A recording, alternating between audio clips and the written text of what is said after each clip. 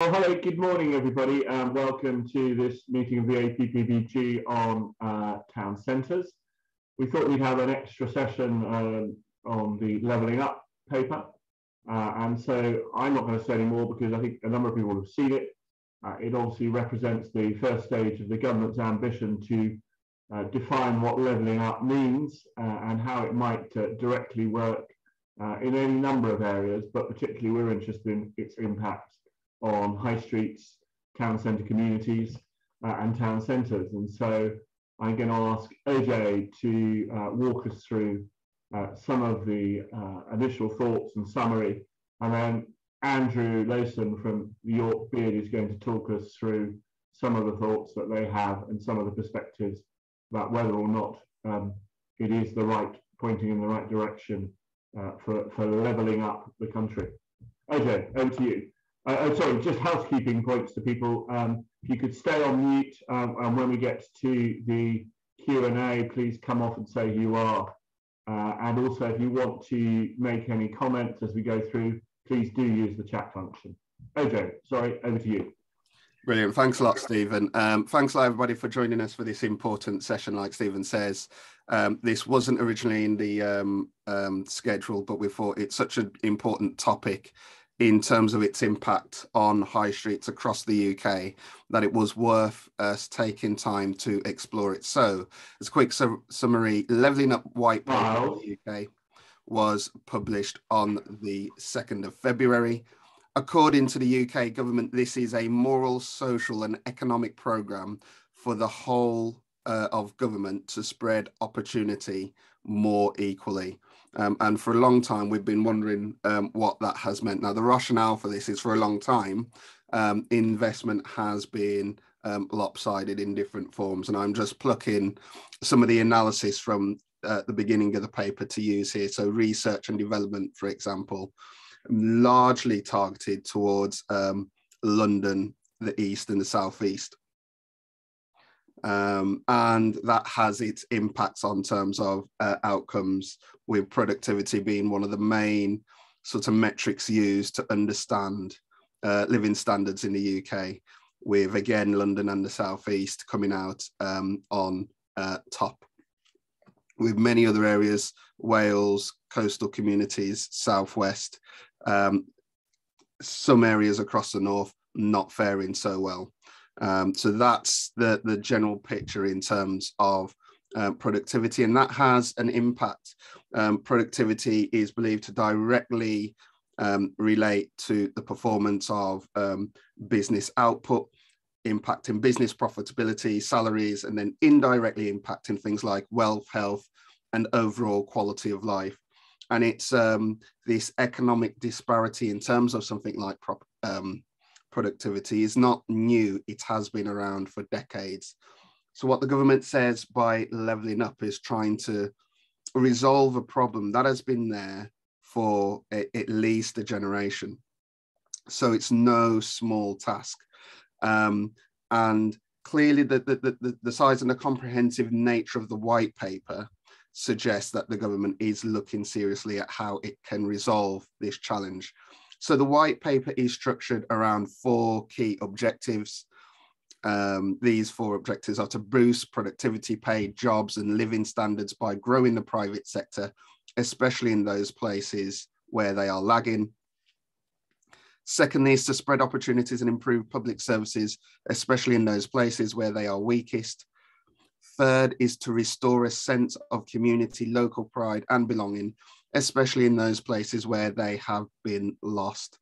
And finally, is to empower local leaders and communities, especially in those places lacking local agency. Um, now, there are 12 missions which are split between these um, four objectives. And I think one of the positives about the paper is that these missions are clear, they make it clear what the government wants to achieve.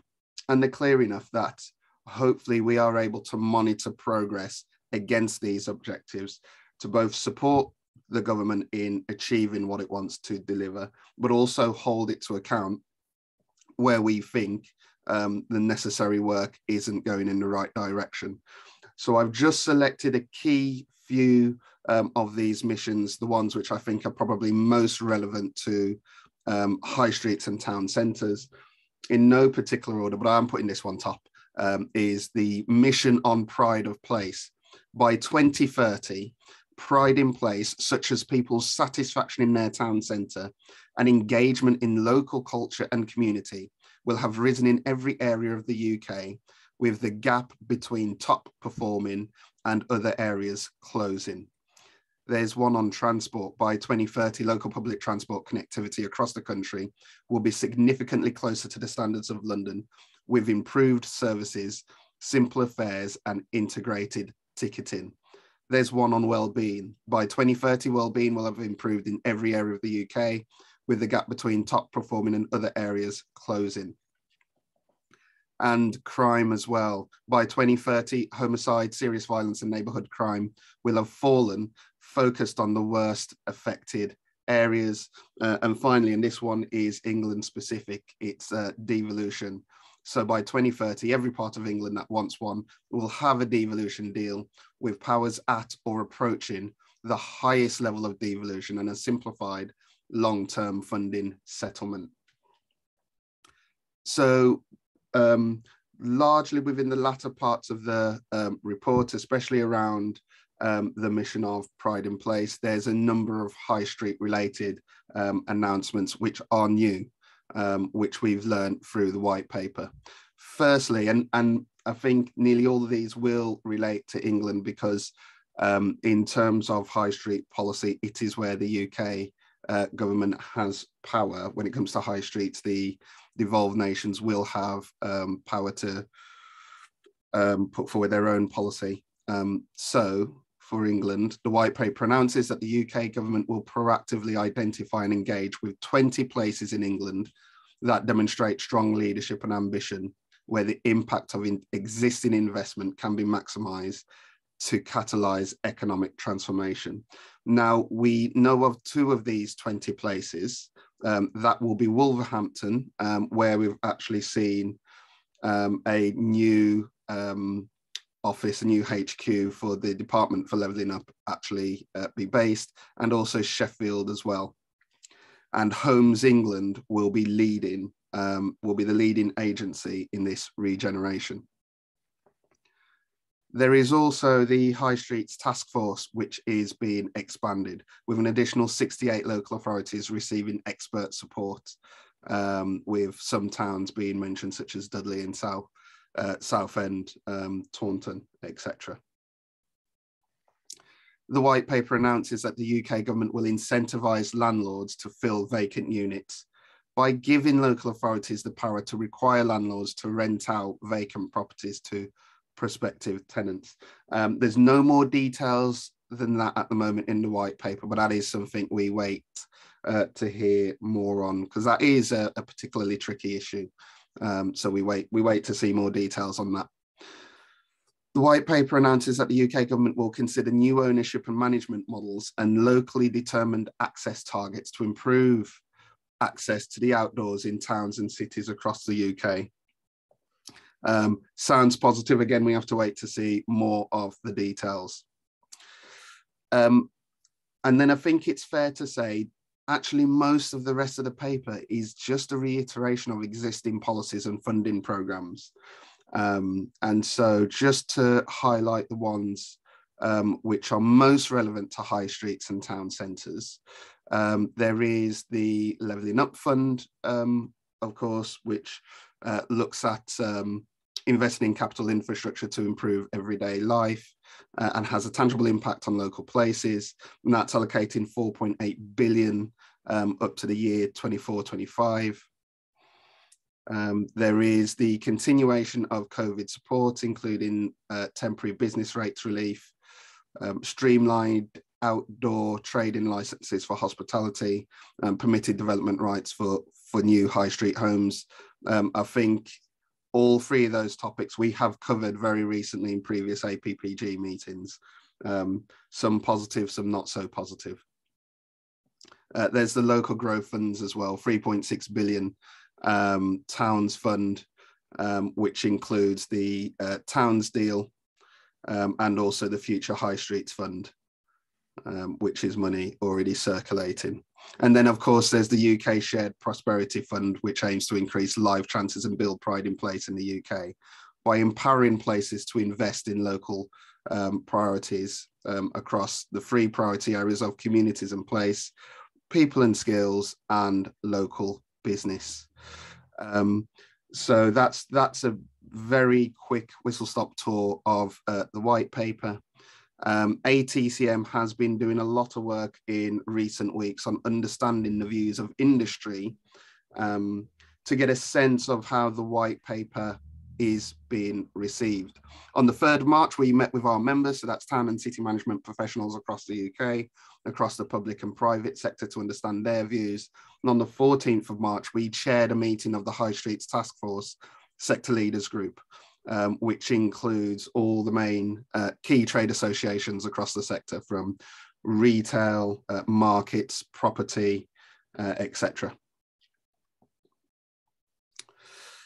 So, in terms of comments, there's so much feedback we've had back, which is really incredibly useful. And it's difficult to summarize it all. And I, I, I make no bones that some of this might be a little bit um, contradictory, but that is um, the nature of the beast because there have been so many comments, so many people feeding in. Um, one thing uh, that there have been some people really enthusiastic about the paper. I think it's fair to say um, the majority have said the white paper is underwhelming. And I think far be it from me to put words in people's mouth, but I just wonder if the reason why people feel underwhelmed by the white paper is because, from my perspective, it's not really a white paper. The purpose of a white paper is to introduce um, new policy program, new direction of travel for the government, when you read through the levelling up white paper, it becomes fairly clear that the vast, vast majority of everything in there is stuff which is already happening. There are actually very few new announcements um, announced in the white paper. Um, and so, actually, I wonder if it's an issue of branding and expectation. We're all expecting lots of new announcements, lots of new things, um, which will see how communities change. But actually, that's not what we've got. What we've got is mainly a reiteration of some of the things already happening. However, that being said, that doesn't mean that this white paper isn't its uses. In fact, um, I think it, it's it's the first time we've probably been able to see all of the government's policies, especially since the pandemic, all of the government's policies um, around town centres all in one place. And it's pretty comprehensive um, and looking at the range of issues being covered from skills, health, well-being, crime and digital connectivity actually provides a really good understanding of the direction of travel. And that in itself is useful. That in itself is useful in terms of supporting the government, in terms of delivery, um, in terms of challenging the government where we think things aren't being delivered. Um, so that just because it's not a white paper doesn't mean this is not without its use. And I think one of the things which come up as a result of all these policies being in the one document, and this has been mentioned by a number of respondents, we now start to see the overlaps between um, different policies, um, the overlaps between some of the missions, maybe areas where there might be some um, conflict. And we have to start to understand how we can ensure strong coordination to deliver on the four objectives and the 12 missions, which is made more possible by this document. So some of the things which were brought up in the High Street Task Force meeting, for example, is um, the relationship between crime and pride of place and how they come together, the relationship between net zero transition and business support and making them work together seamlessly. The white paper provides a platform for understanding some of these linkages and making sure that we can get this right as across as many policy areas as possible. One thing that has been brought up to us a number of times is the issue of metrics and the fact that they matter. Now, I think it's it's as positive that in terms of the missions, the government has been absolutely crystal clear in what it wants to achieve, because it allows us to hold the government to account and support it where um, we can. However, what we would say is that the mission on pride of place is not necessarily an easy one to measure. And yeah, it's probably the most important one for this industry, given it makes explicit reference to town centres.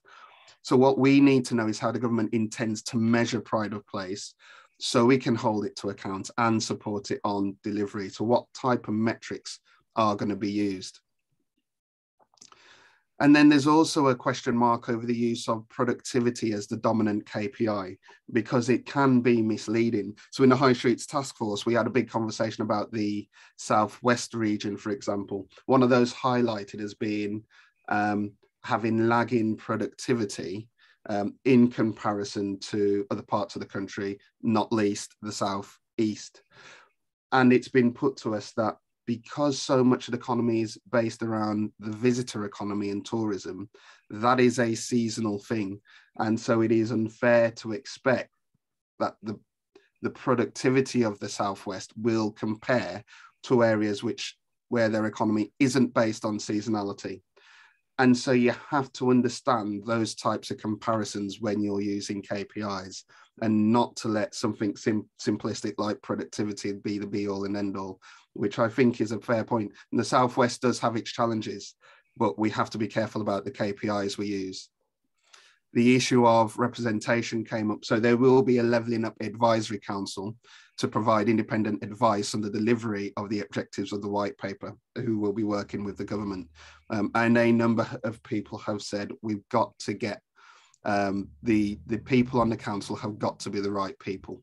So multiple industry figures have stressed how important it is that that advisory council includes the voice of small businesses and the private sector, and that they are a key part of that group because small business can often be underrepresented in things like that and often missed out. It's also stressed that if this is about true levelling up, there has to be plenty of representation from those communities often neglected especially coastal communities, which for too long um, probably haven't seen their fair share of investment or support over the year. There is disappointment that um, there's nothing tangible or long term on um, the issue of business rates. Yes, we've got the continuation of temporary rates relief, but we know the impact business rates has on the private sector, yes, in England, but also across the UK. And it is a um, significant drain on private sector physical businesses. Um, and it is something that does need to be resolved. Um, and it would, if we could do that, it would make a massive difference to the levelling up agenda. There is a question about whether there's enough uh, funds and investment through this um, paper. Um, if you are an area which is not lucky enough to have um, a pot of funding from, say, the Levelling Up Fund or the Local Growth Fund, are you able to invest in the transformation that is needed in your area without that money? Do uh, councils, do the private sector have enough levers to be able to invest in a place um, without that uh, central government funding pot? And then it, it, it's clear as we understand levelling up through this white paper, this is about trying to um, support the country with the exception of um, London. So it's looking at a, reinto- a re- pivoting away from investment in London to um, other areas. Now, I absolutely agree that there's certain parts of the country that haven't had their fair share of investment and need that support. But is it wise when London is such a strategic global city that we don't give it full consideration when we are thinking about economic and social development because like all over it, London does play an important part for the whole of the UK uh, in a strategic way. Um, so can we make this work if there isn't much of a focus on London within the white paper? Um, I think something else to say as well, which I don't think I've included uh, in my slides, is um, the issue of um, some of the practical challenges around devolution. So there is a question um, for some areas which are going under the transition of devolution, um, thanks to some of the stuff announced in the white paper. The, the practical problem of funding because they won't yet be ready to take on that UK shared prosperity fund until the process of devolution has been completed. But this is while funding through EU sources comes to an end. So there is some concern in some areas that there will be a funding gap while that transition takes place, and that's concerned. So a question to the government on how we're able to manage that funding gap and to ensure that it doesn't occur. So, uh, Stephen, that's that's it from me. So, Jay, um, I am having some, sorry, I know significant technology problems at this end, but I hope I'm going to manage it through the, the meeting. Uh, I keep losing hearing, but I'm trying to sort that, that uh, audio. Um, but look, uh, thank you very much for that. Some, some really interesting points that you're raising in terms of what the town centre group uh, have come forward with, particularly some of the comments about existing funds and whether enough funds enough, and some people's thoughts about what's actually in the white paper and is it enough. Andrew, uh, can I come to you next? Andrew Lowson from York BID um, to give some thoughts on the, the white paper. Andrew, good morning and you're very welcome. Yep, thank you very much, and uh, thanks for um, asking me to to outline a few, um, I suppose, points on this today from the perspective of um, the Northern Bids Group. Um, I mean, just to explain to people, um, I mean, Northern Bids uh, is it's kind of like an informal group, but um, was formed back in 2016, and it kind of consists of the bid directors from the um, you know, the larger cities in the north. So uh, that includes Bradford, Chester, Leeds, Liverpool, Manchester, Newcastle, Sheffield, Sunderland, and ourselves in York. Um, and I mean, just as an overview, that you know, combined, we represent around about 8,000 businesses. Um, you know, an overall RV representation of around about 105 million.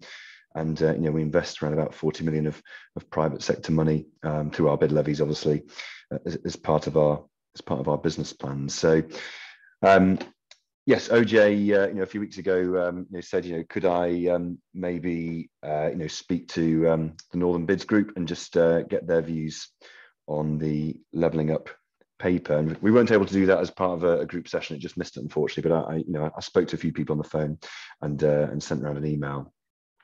And I think, I mean, uh, you know, I don't plan to speak um, at great length today because we might tease some things out uh, as part of the discussion. But I suppose uh, just touching a little bit on, on what Ojay said uh, there, um, maybe a little bit of a feeling of, of, of slightly being underwhelmed. I think was the uh, the general feeling that I got back. Um, and I'll just go through a few points. So I'll kind of uh, switch screens um, and look across because you know I'm, I'm, keen to to to uh, you know communicate what what came back from my colleagues rather than just talking from a from a York perspective. Um, but I mean, that you, you'll, you'll notice when I go down these points, there's, there's a, uh, a consistent theme, and it all comes down to money. Um, if I'm being honest, you know, seeing tangible money uh, that could actually, you know, make tangible change, I suppose. So, I mean, I think just to, you know, to start off, I mean, I think uh, most people agreed that the the 12 policy objectives, um, you know, seem to hit the right marks. I mean, that's uh, that's a definite positive, and I suppose it won't be of surprise that you know the, the key uh, ones of interest to the uh, the bid directors were in the areas of regen and, and town centres, um, public transport, and also skills and employment. So from a bids perspective, those are the ones that you know people were, were most interested in to, to kind of scratch below the surface and, and have a little have a more of an understanding of the detail. I think um, one thing which was a little bit surprising was we felt that maybe at headline level there wasn't quite enough on uh, quite enough reference to green um, and sustainable drivers. Just considering, um, you know, I'm sure Ojay and, and, other colleagues will agree with this. You know, in, in the past few years as city centres, we understand that actually, you know, sustainability is going to be really at the heart of how you know city centres uh, regenerate. They're, they're, themes that you know both businesses and, and the public are very interested in. You know, from a tourism perspective, we think they're going to be key drivers where people will make uh, decisions on on you know going to destinations. So I think you know that was one thing that didn't kind of come across quite as strongly as maybe we expected. I think um, I mean going down these points, I think um, yeah, I mean in, in terms of you know finance, um, you know it's just a question of you know where there is mention of some of the money, it's it's that understanding of what difference will it actually make when it's spread around. So when it talks about the um, the Safer Streets Fund and, and kind of um, you know references you know 50 million pounds around that, I suppose it's you know, it's that thinking that once that is spread around, actually, what what will that actually achieve? Um, it sounds like a lot of money, but if you're kind of spreading that across the regions, it's just actually what tangible difference that will make. I think in terms of you know um, devolution was obviously you know kind of you know, brought up, and I suppose that feeling from the Northern Bids directors that a real strong feeling that you know there's got to be a real link between devolution and how any of this is going to happen. And again, you know, if when when you know clear ideas of money come through, that uh, hope that that money would actually be really tied to decisions being made at a at a, at a local level, um, rather than I suppose local leaders having to go cap in hand down to London, you know, meet targets, um, you know, and, and, the decisions being made elsewhere rather than that local that local area. And I suppose you know, coming from a from a York perspective, you know, quite specifically, I think um, you know that that regional understanding, which hopefully will come with devolution, you know, we, we feel is quite key because you know, York quite often misses out on on central pots of money, and um, you know I kind of understand why, because if you're looking at a place like York from uh, from an objectives perspective, it looks like a you know quite a you know a wealthy city. Um, we have bounced back very well from COVID, so you know I'm not going to pretend that we have you know the issues that other cities do. We you know we, we do do well. However, you know at a local level, we do still have our, our problems. I mean, people forget that you know York actually was built on very working class routes. You know the railways, chocolate factories. Um, a lot of that has obviously disappeared. Um, and so we don't necessarily have those those high skilled jobs. Um, we are quite reliant on, on, on tourism. You know, it, it, plays a big part, but we have our you know issues, and I can see my colleague from uh, Falmouth in, in Cornwall down down there will understand issues of actually you know affordability. You know, because a lot of um, you know our workers in the hospitality retail sector obviously are on huge wages, and yet the price of, uh, of, of housing, cost of living in a place like York um, is very high. And so that that causes problems with actually how, how do we get that workforce? But we, we quite often miss out on these funding pots because we're seen to be as a city that you know on, on you know on, from the outside perspective looks to be doing well. So I suppose the reason I tell that story is the fact that again any kind of money to do with leveling up, I think really you know, the devolution part is absolutely key because that understanding of those local dynamics uh, is going to be absolutely crucial.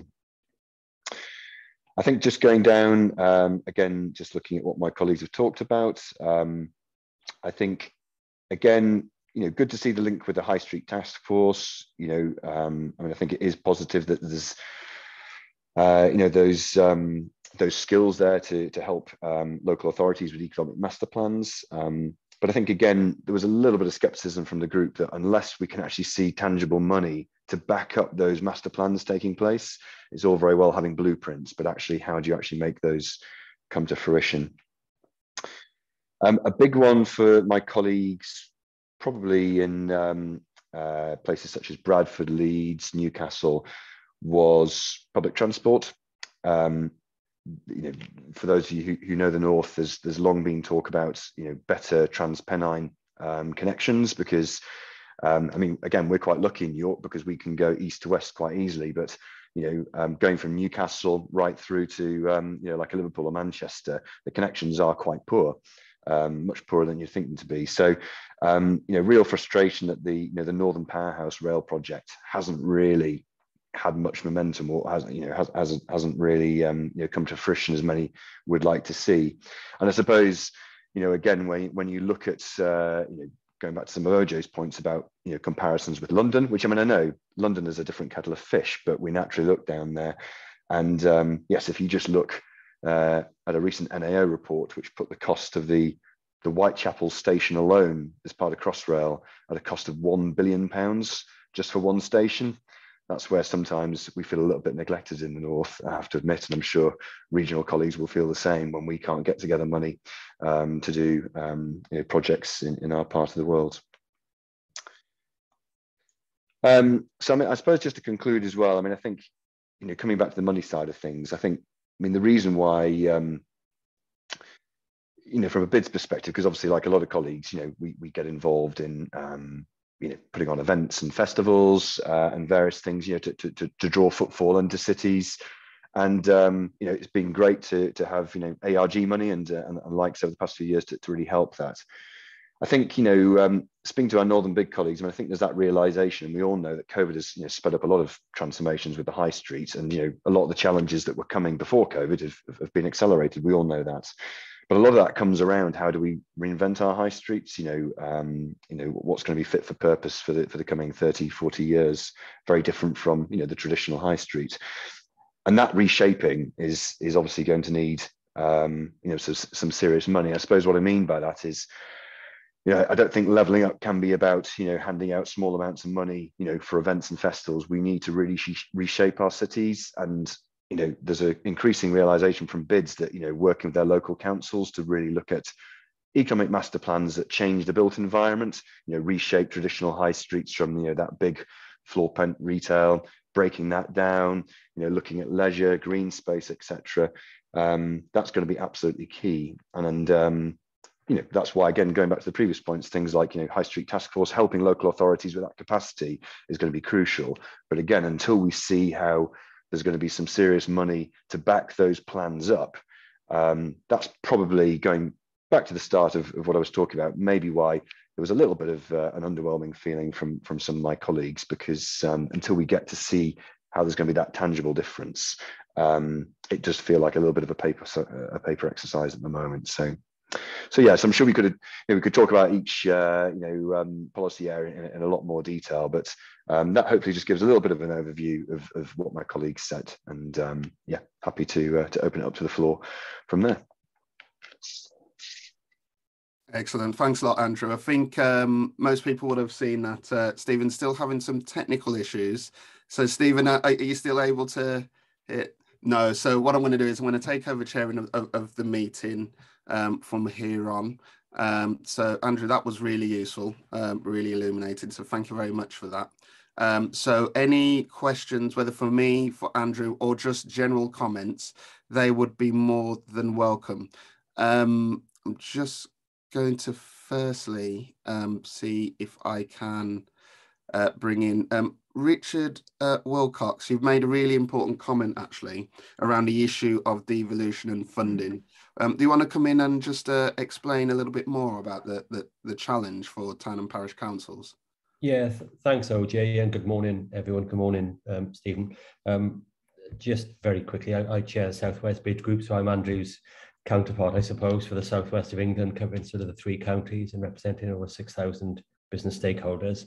Um, yeah, obviously, as, as many of us know, a lot of the place shaping groups and boards across the UK um, take place and are managed and operated by a variety of different partners, mainly driven through local councils, as well as working with town teams and bids. So the, the comment and, and query which I raised at the task force meeting last week, as I'm raising again here, is, is really around that. And uh, if funds are passported to principal councils, then of course it will affect how we deliver some of the local projects within our respective towns and, uh, and areas. And there's just a need that if that is going to be the case, that it doesn't therefore become overly bureaucratic and a or political in respect of how that money then is filtered through to the various place shaping groups and boards and and uh, and organisations who are doing such great work at the local level. And I think that's really quite important. And and then lastly, Ojay, I didn't put in there, but absolutely critical that uh, that the uh, the small business voice is still heard. Uh, I think that independent business voice is crucial. So I welcome your comment at the outset around then not only being that key sectoral representation, but also the geographical representation, because you, you hit the nail on the head that coastal and rural voice is often overlooked when it comes to some of the national task force and, and policy rollouts. So I welcome that comment you made. Thank you. Yeah, thanks a lot, Richard. And I know um, on both points on the issue of town and parish councils and whether they're able to get access to funding. On the point around representation on the Levelling Up Advisory Council, there's many other colleagues which have um, said very similar things. So I think you'll find a lot of support for those comments. Um, Emma McClarkin at uh, British Beer and Pub Association, can I bring you in? I see you've got your hand up. Good morning, everyone, um, and thank you for the introduction. You know, we have a real opportunity here with Levelling Up a lot of sectors have to really contort themselves to get into the levelling up box. But we very much feel that the high street, the businesses on the high street, and particularly from my perspective, um, our pubs are, are already delivering that. And we are already part of levelling up, operating in every part of the country. And we hope that we will continue to do so. But we really felt in the paper there was a missed opportunity um, to recognize maybe the levers that are already there that you can pull to operate to deliver even more on leveling up. And the, we, we really felt that we were sort of overlooked in that regard as to what we can bring as hospitality to the table. So I hope that there'll be an opportunity for us to participate in the leveling up um, advisory council to, to directly tell you from our experience what we do every day, which is deliver jobs and, and boost to the local economy and really centering on place. Place and people is what we do. And so if the government choose to invest in us, then we can deliver even more for them when it comes to levelling up. So I, I know that many people perhaps on the call felt the same.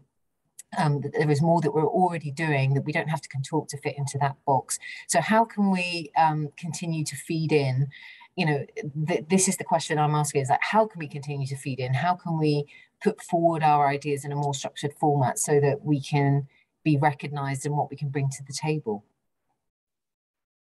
Yeah, I, I, absolutely. And I know a number of people said um, exactly the same as that, um, Emma. And I've got Actually, I've got a question for you. I know, and you might not be able to answer it, but I'm going to try anyway. So, in the um, Leveling Up white paper, there was reference to, if I remember correctly, local um, skills improvement plans, um, which will be um, employer led um, in different areas, looking at helping to coordinate the skills provision for industry. Do you think um, some of your members? Would want to be uh, involved in that, given some of the challenges we've had in terms of skills and employment in the hospitality sector just recently. And given what you've said, I think quite rightly about the, the links between hospitality and levelling up. Uh, absolutely. Um, you know, and as you know, we have a labour shortage in hospitality at this moment in time. So we are proactively looking um, for people to come and work in hospitality, but to invest in them and to train them up and to, to show that there is a, a long pathway in the careers that we've got there and, uh, and the relevance to what it means when it comes to the rejuvenation of high streets and communities is that we can make that offer. When you have a thriving um, hospitality venue all the businesses around it benefit from that on the high street.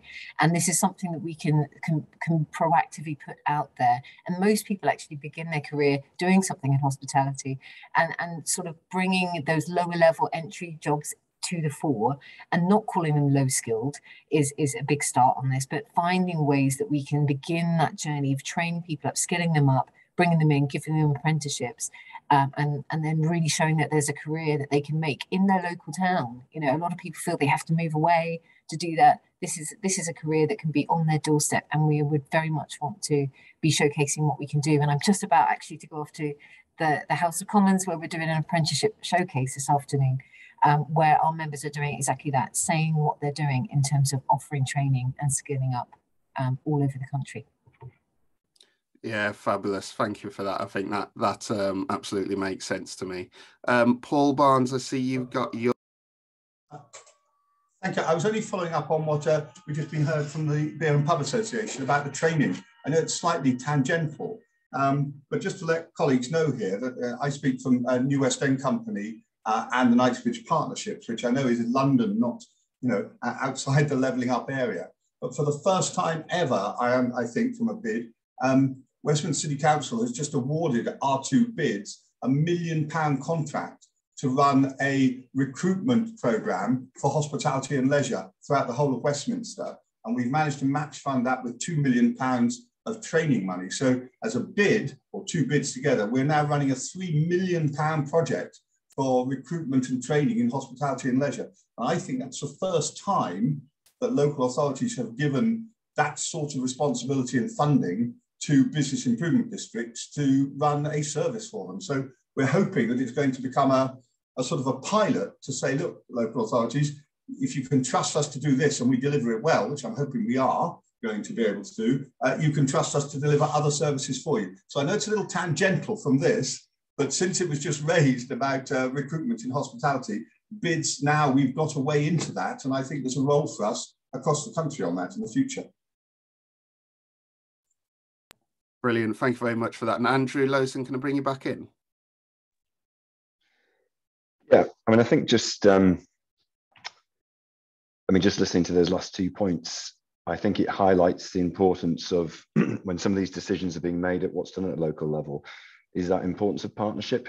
Um, and actually, you know, because obviously in the past these um, these kind of, you know kind of schemes were very much you know local authority led. But I think uh, what Emma said and as what's just been you know talked about down in London, it just shows that actually you know you're going to have to really demonstrate capacity in an area you know amongst partners. And I think um, you know again if you look at one of the positives of, of, of COVID, and again this has been communicated by quite a few of my colleagues at a northern level. It certainly happened in York is actually a lot of local authorities have realized that you know there are these other delivery bodies these associations who can really help them with not only their decision making but sometimes the capacity of taking things forward um, and i personally think that's going to be absolutely crucial because we all know again you know a lot of capacity within economic development teams at councils have, have been decimated you know going back to the you know the 2000 after the 2008 recession you know the skills and capacity isn't there so i think you have to show strong partner networks to actually be able to demonstrate how you're going to deliver these schemes? And, and fun enough, we're just, uh, you know, just very topical. There's a, there's a, there's a public realm piece in York around uh, the Clifford's Tower area, which is, um, you know, we're really hoping, you know, can take place. Uh, there's, there's a good master plan for it. Um, but it looks like the bid will be having to, um, you know, put some, some money into actually, uh, you know, putting some evidence into you know some of the reasoning behind that just because there isn't necessarily the money or the capacity within the local authority. So we're hoping that we will be able to contribute to make that that scheme take place. And i'm sure we will all think of examples in our own areas where that's going to take place. But yeah just wanted to kind of you know highlight that i think you know this this um, these new types of partnerships that might not have been as, as, as clear a few years ago uh, are going to be crucial. And hopefully, again, when money's being awarded, um, that'll be looked at at local level um, to help decision making as to where the money should go. Yeah, thanks a lot for that. So there's there's actually I think I've been um, fairly mixed views around the white paper and the issues of partnerships. So I think there's been a lot of positive comments by the fact that there's so much emphasis behind public-private partnerships in the white paper, and that's absolutely the right thing. And private sector has to have a, a, a, a strong role in that. But I think there was a little bit of concern. It, it probably points back to um, Richard's comments around the nature of devolution. When we talk about public sector, it seems that the focus at the moment is quite heavily on um, mayoral combined authorities um, and also count, um, county councils as well and principal councils. But in terms of other forms of um, uh, local government, I don't think that's been properly fleshed out. And there's still also, when we talk about public private partnerships at that pan sort of regional scale as well, obviously LEPs used to play a key role. And I think this white paper probably still leaves their future fairly unclear. So we're hearing that mayoral combined authorities could well have the power to fold LEPs into whatever body they want. But outside mayoral combined authorities, they might be left to remain. So it's a little bit uncertain. It doesn't sound like there's a clear strategy for LEPs either. So there's lots to be said on the issues of partnership structures and um, certainly public private sectors working together. Um, Richard Wilcox, did you have your hand up? Was that a legacy hand or a new hand? No, it, it wasn't a legacy hand actually, Ojay, but I think the points have already been made. I was just going to really open-ended question from a bid sector perspective. Obviously, um, taking uh, my colleague's point there in, in Knightsbridge around that sort of trust in respect of strategy. Obviously, bids historically have been hugely seen as a as a real asset for local authority and government, perhaps, around our operational capabilities to deliver the here and now. But we're now entering this new territory whereby we are perhaps needing to perhaps really look at our narrative as to how we present ourselves on that national scale so that we're seen as a key strategic um, body as much as we are operational. And I know there's a lot of larger bids and others who are doing that so well, but I just think there's probably a, a conversation outside of this meeting around that sort of whole marketing and brand so that bids are seen as a the next 20 years strategic body as much as operational because that's exactly where we want to be. We want to be at the front and center in respect of of strategic delivery in respect of the, the leveling up.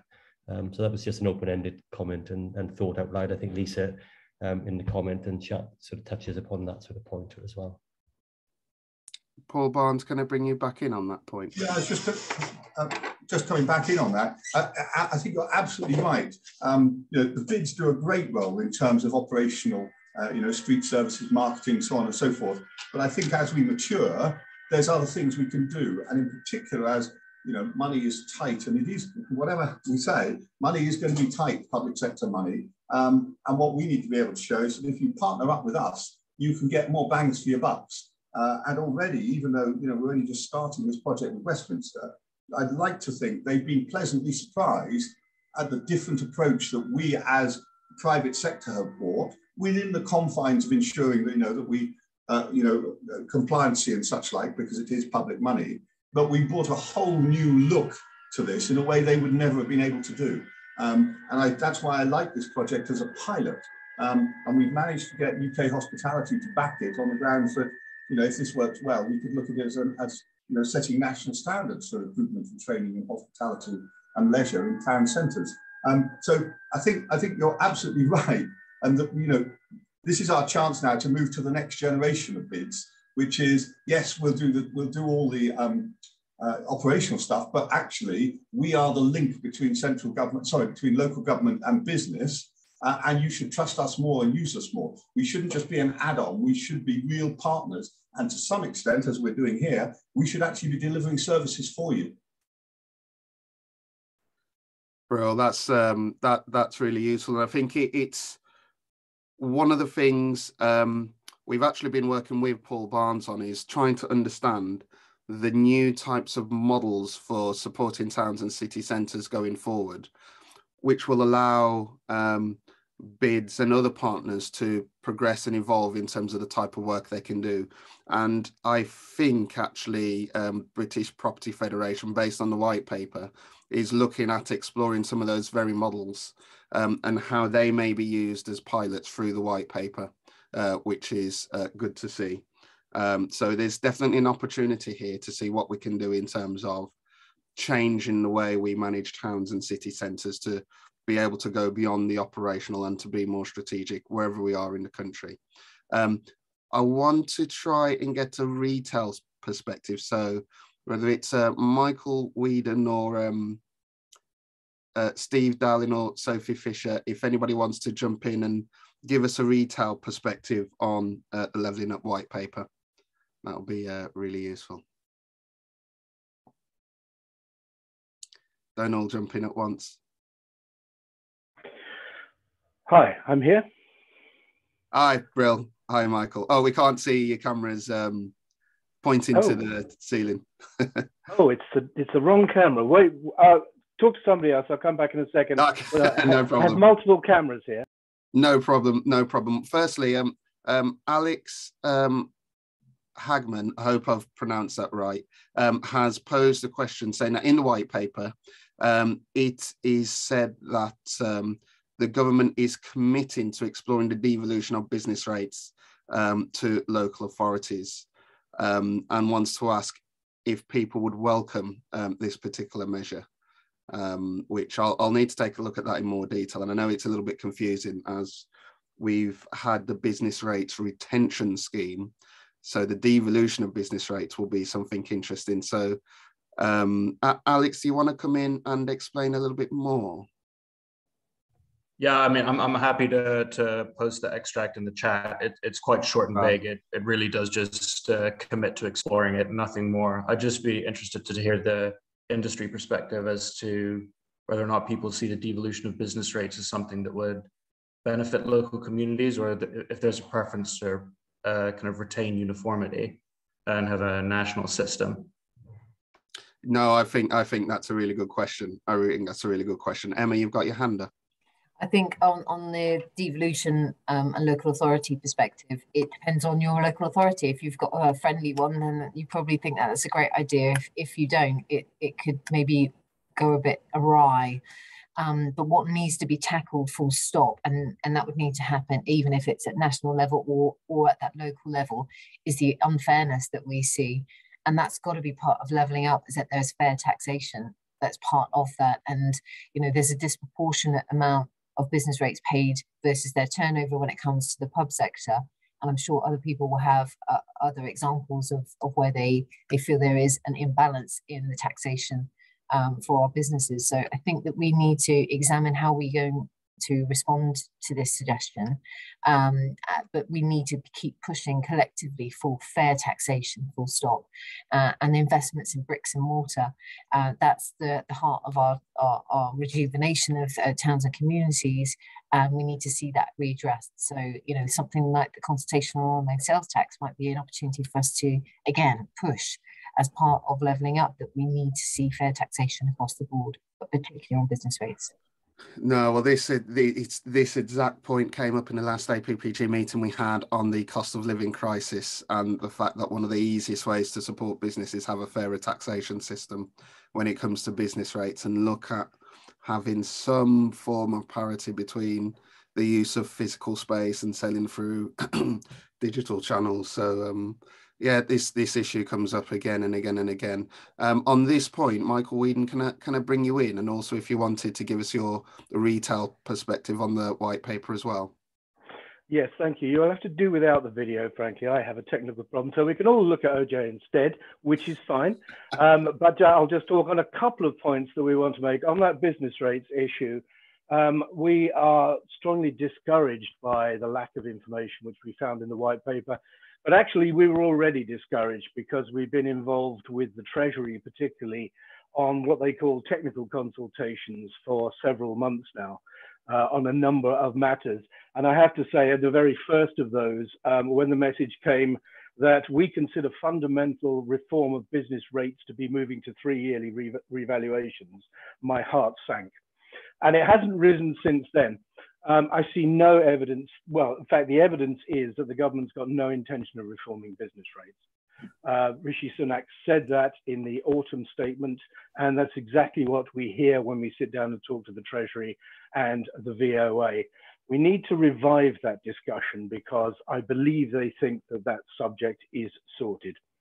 Um, it is it is therefore not surprising to us to find that it's not something which featured in the white paper here, but I think we need to collectively, this, this group and others, to try and revive the issue because the only move we can see where they want to make changes are these technical matters about moving to three yearly revaluations, but also looking at still online taxes, sales on online businesses and so forth. We think that will take them a long time. I think that's run into the sand, and I think the Treasury is very happy with that. So there's another discussion about that. On the on the wider front, our big concern, retail fits into it, but as the FSB, we've got 25,000 members in retail, but many more around that as well. Is that our big concern is about time with all of this, looking at the um, at the white paper. In fact, asking questions of Neil O'Brien about this yesterday. He happens to be my local MP as well as the you know one of the levelling up ministers and a major author of all of this. Is this move to um, the prioritization of funding through mayoral combined authorities and also county deals and then working down in priority just says to me it's going to take a lot of time to organize. If, for example, um, a region decides it's going to put in place um, a combined authority, you've got a gap in timing there. Whatever the availability of money, it's not going to get spent until that final form of government, which is going to handle the money, is in place. And as ever, with this, we've got to think who's got the money, who's channeling the money. So one of our big concerns, and you're absolutely spot on, Ojay, talking about LEPs, we think they're going to get lost in the wash. They didn't get taken out of the wash in the white paper, but just the fact that we see that in combined authority areas, we will expect, and people who I know are on boards of LEPs in combined authority areas, we can expect them to be folded into the combined authority. So the funding goes through that instead. You wonder where the rest of the LEPs go. And we have a particular concern with this because it's not just about what has been ERDF funding, which has been critical over the last few years, the Shared Prosperity Fund um, as well. It's where we go with this in the future. And that time gap seems to me to be one of the things which is not addressed in the white paper. It's all about intentions at a point. There are a few dates in it, but our concern is it falls in the gap in the middle. Now, everyone who dealt with government for any time, and you know, Ojay, you know, you know this on a day-to-day basis, between the announcement and the implementation of things, is a huge gap. And what happens in the gap is nothing. Now, the reason we're particularly concerned about LEPs is not just about funding, but also because LEPs run, um, they run uh, the, the business support hubs for small businesses. That is actually the primary point of contact between small businesses and LEPs. And actually, if you think about some of the LEPs at the moment, say SEMLEP, which covers a multitude of councils, uh, of counties rather, if we go from no combined authority in the area, which is likely in many places in the country, to county deals, well, that one covers multiple counties. So what does that one kind of get chopped up into bits? Is there no LEP in that area? we're, we're worried about this, but our main concern, as I say, is about time. Those are the, those are the issues that we would uh, be concentrating on. I have to say, and we are hopeful, and we think it is absolutely important we find out as soon as possible which organizations are going to be on that advisory group for leveling up. Thank you. You can't see me, but I'm stopping now. That's that's brilliant, Michael. I think they're all um, really um, excellent comments um, so thank you very much for that. And I, I, think there's so many people that echo your concerns. I know particularly Richard Wilcox, who has mentioned some of these things to me as well. Um, time for one more comment. So Steve Dowling, um, Association of Convenience Stores, can I come to you before we uh, wrap up? Yeah, sure. Thanks, Ojay. And um, sorry, no camera. I've got some work going on, so there might be some background noise. But just quickly, because of time, um, I think on business rates, we need to step back and think what is the key issue here? And that is that the rate of the tax continues to go up for retailers and other high street uses because that tax has to raise the same amount of revenue regardless of the broader economic circumstances. How do you change that to, to, to bring more vitality into these places? You can't increase VAT because that's not, frankly, politically viable at the moment. You can't look at domestic taxation for similar reasons. So how else do you do you raise the same revenue for public services? And that's looking at how we tax online retail versus physical bricks and mortar retail. Um, and I think that brings you to the Treasury's current online sales tax consultation, which is key for this. And where I think we are politically is Michael Gove and the Department for Levelling Up is quite pro on this for restoring pride in place, supporting high streets, levelling up. The Treasury, you know, the, the, the Treasury's instinct is if it doesn't raise money overall, then we're not too interested. So that's where we are at the moment in, in terms of that. And I think that's key in terms of what happens in business rates. But I completely agree with, with Michael that in terms of the business rate system itself, we're not going to see much fundamental reform there, but it's about could an online sales tax, the revenues from that be used to offset bills for retailers? Two other quick points key from the, the white paper for us. Um, it talks about rural proofing in there. I think we need to also remember our, our, our quite rural high streets and places and, and, um, and what that means. So the role for DEFRA there and also for retail, um, developing an in-work progression offer.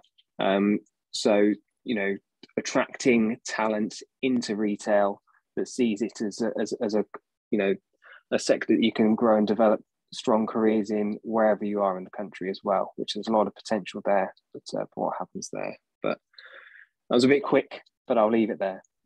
No, thanks a lot, Steve. That's really useful, um, and certainly I, I, I, agree with a lot of that as well. Um, thanks a lot, everybody, for your um, comments. I, I have to say, there's not a lot I've heard here which particularly surprises me about some of the concerns and, and the questions we have around the levelling up uh, white paper to ensure we can maximise some of the opportunities. Um, we've had about four MPs listening in, um, most of whom from um, uh, constituencies based in the north. Um, so what we'll do as an APPG, I know Stephen's had to drop off because of his technical problems, so I will catch up with him later today, um, and we will see what we can do about possibly put put in some of these uh, comments and questions in some uh, form of uh, formal engagement with um, one of the ministers at the Department for Levelling Up to see what it is we can do to to push on some of the, the key issues mentioned most by people. Um, like I say, some of these issues have actually been discussed have been discussed in recent APPG meetings and um, dare I say that that some of the MPs will agree with with um, some of the comments made.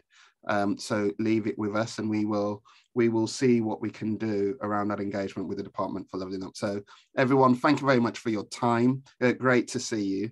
Um, and I hope to catch up with you all soon. Cheers, everyone.